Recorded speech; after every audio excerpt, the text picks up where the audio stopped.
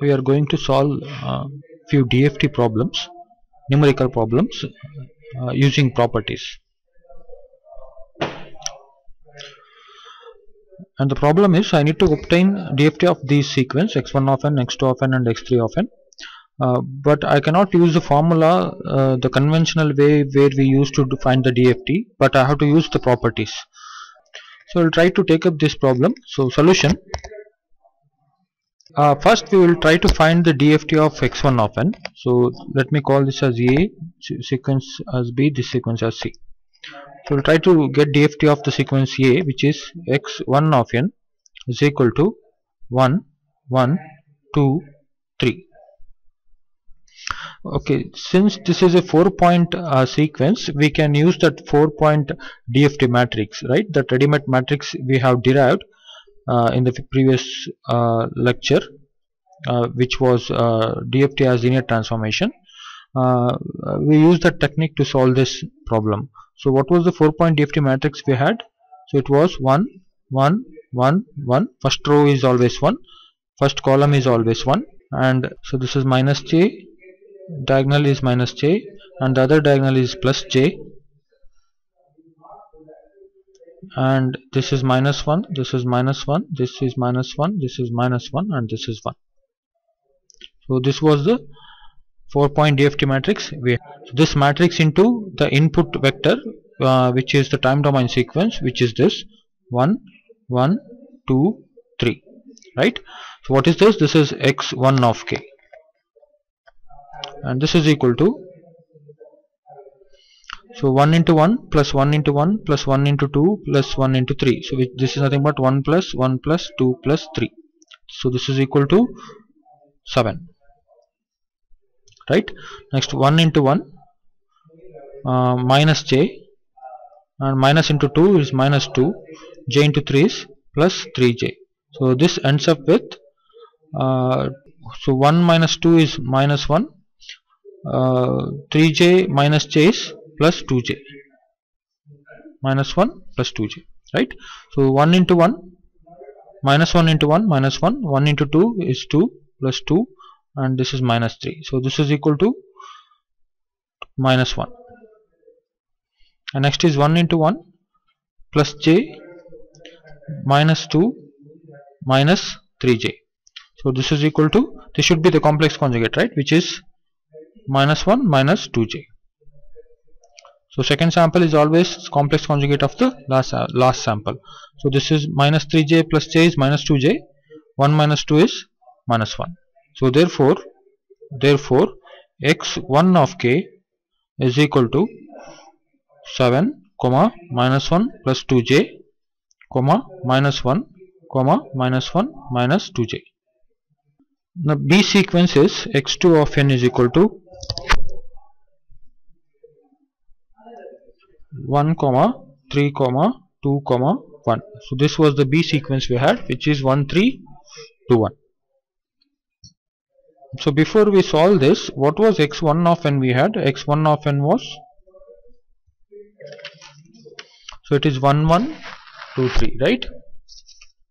So 1 1 1 1 2 3 and can you get a relationship between this sequence and this sequence? This is my x1 of n which is 1 1 2 3 and this is x2 of n which is 1 3 2 1 so I have to rotate either left or right somehow so that I get this sequence right? If let me give an example. So if x of n is equal to this is an example if x of n is 1 3 minus 2 4 this is a random number I have taken to convince you circular time reversal okay? So I have x of n and I want y of n which is equal to x of minus n mod 4 y 4 because this length is 4 either we call it as mod 4 or base 4 okay? So anything is fine. So y of n I uh, given a sequence x of n is this I want to obtain x of minus n mod 4 so how do we do that? So y of n is equal to so how do I write it in terms of 4 or capital N? This is actually in the form of x of minus n mod n right? How to write it in terms of capital N? This is x of you, you bring this at the beginning n minus n and remove one bracket this is what I did so but n here in this case it is 4 right now I have to give values for n so when n equal to 0 what is y of 0 y of 0 is x of 4 minus 0 which is x of 4 so since x of 4 went out of range because this is x of 0 x of 1 x of 2 x of 3 so x of 4 out of range then if the x of 4 uh, I mean if x of n goes out of range what I need to do is I have to subtract it by the length which is 4 minus 4 so this becomes equal to x of 0 right? So the y of 0 is what? x of 0 right? So when n equal to 1 y of 1 is equal to x of so in this equation 4 minus I have to put n is equal to 1 so this is equal to x of 3 what is the value of x of 3 it is this is the x of 3 which is 4 so when n equal to 2 y of 2 is what?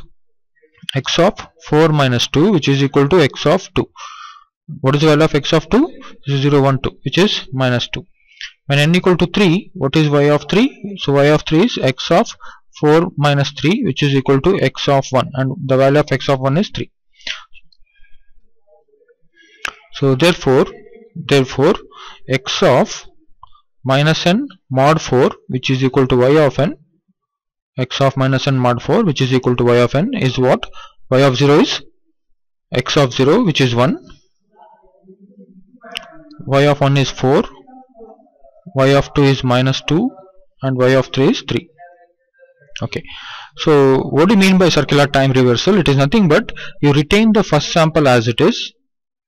I have retained the first sample as it is and rest of the sample so you have to come from the last of this sample. So 4 minus 2 3 so 4 minus 2 3 so this is how we write the sequence of circular time reversal you retain the first sample as it is but this you come from the opposite direction which is 4 minus 2 3 from this direction you have to write it here. Fine. Now uh, I told I have given you the example of this sequence because uh, these two has a relationship of something like this right?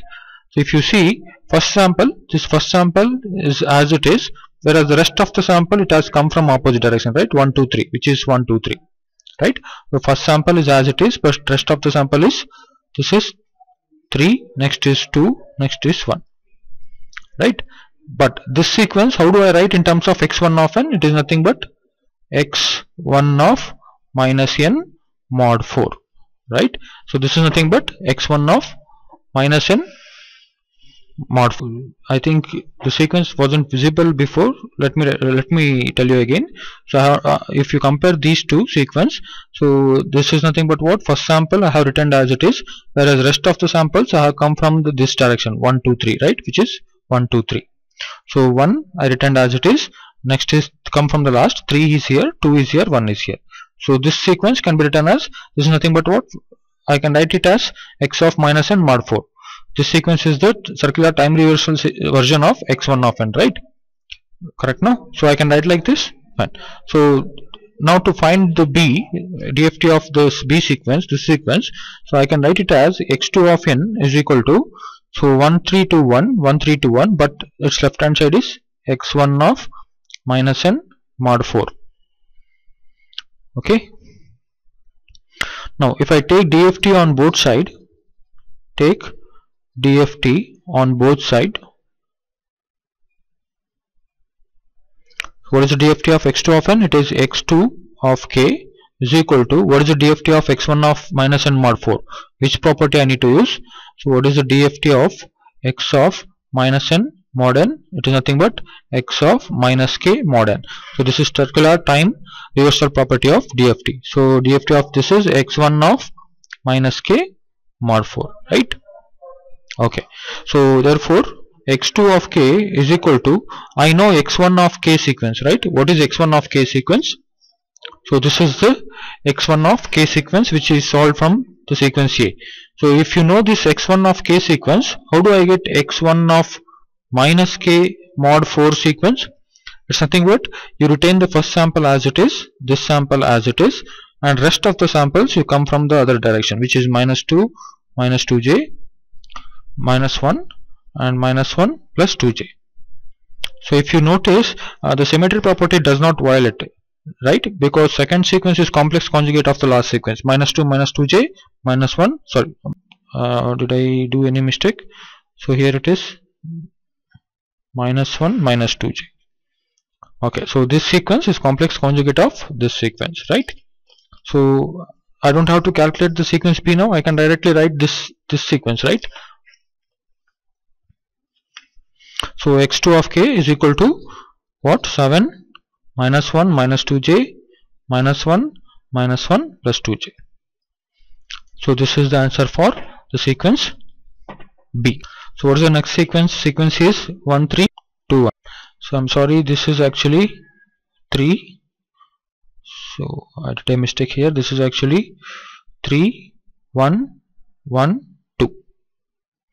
so sequence C which is x3 of n is equal to so 3 comma 1 comma 1 comma. So again so what is x1 of n sequence we have which is 1 1 2 3 right? Now can you have relationship between these two? So how can I write this x1 uh, x3 of n in terms of x1 of n? Uh, if I shift if I if I circularly shift it left one time sorry right one time. So this 3 comes here. This one comes here. This one comes here. This 2 comes here right? So 3 1 1 2 okay if I circularly shift it right one time so this is how I end up. And this sequence and this sequence are same right? Now how do I write this sequence in terms of x1 of n? So this is nothing but this sequence shifted right one time right? So x1 of let me write it here. X1 of n minus 1 mod 4 so therefore therefore I can write x3 of n is equal to x1 of n minus 1 mod 4 so let me write the sequence once again. x3 of n is equal to x1 of n minus 1 mod 4 so if I take DFT on both side take DFT on both side so what do I get? What is the x DFT of x3 of n? It is x3 of k is equal to what is the DFT of x1 of n minus n mod n? Which property we have to use? DFT of x of n minus m mod n. So what is this? This is nothing but in frequency domain. X of k gets multiplied with e power minus j 2 pi by n into k into so how many times it is shifted? M times it is shifted. Right so what property is this? This is circular time shift property. So what so if this is the case what is this then? It is nothing but x1 of k. If this is x this is capital X here it is x1 so it is capital X1 so x1 of k gets multiplied with e power minus j 2 pi by n into k into how many times it is shifted? One time it is shifted. Right? So therefore x3 of k is equal to what? X1 of k into e power minus j pi by 2 into k. Right? So, but we know x1 of k right? What is x1 of k? X1 of k is this sequence. So we will write that sequence here. So x1 of k is equal to what?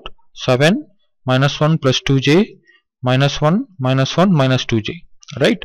Now so if I put k equal to 0 what is x3 of 0 it is nothing but x1 of 0 into e power 0 which is equal to what? X1 of 0 into 1 which is equal to what is the value of x1 of 0 it is 7 so when k is equal to 1 x3 of 1 is equal to x1 of 1 into e power minus j pi by 2 into 1 so this is equal to what is the value of x1 of 1 x1 of 1 is minus 1 plus 2j and what is e power minus j pi by 2 it is cos pi by 2 minus j sin pi by 2 what is its value? So cos pi by 2 minus j sin pi by 2 which is equal to minus j. So what do we get? So this is minus into minus plus j and and this is 2j into minus j which is nothing but minus j square. So j square is minus 1 so minus into minus plus. So what do we get is 2 2 plus j if I put if if x of 3 is 2 plus j what is x uh, x if x3 of 1 is 2 plus j what is x3 of 3 which is complex conjugate of this which is 2 minus j right? Which is x2 of 2 into e power minus j pi by 2 into 3 so if you calculate you should get 2 minus j. This is when k is equal to 2 x2 of 2 is equal to what? x1 of 2 uh, x3 of 2 right? x3 of 2 is equal to x1 of 2 into e power minus j pi by 2 into 2 so this is equal to x1 of 2 is minus 1 minus 1 into e power minus j pi is cos pi minus j sin pi which is equal to minus 1 which is equal to 1 right? So now this is for k is equal to 3 which we already calculated. So therefore x3 of k what we get is 7 2 plus j 1 2 minus j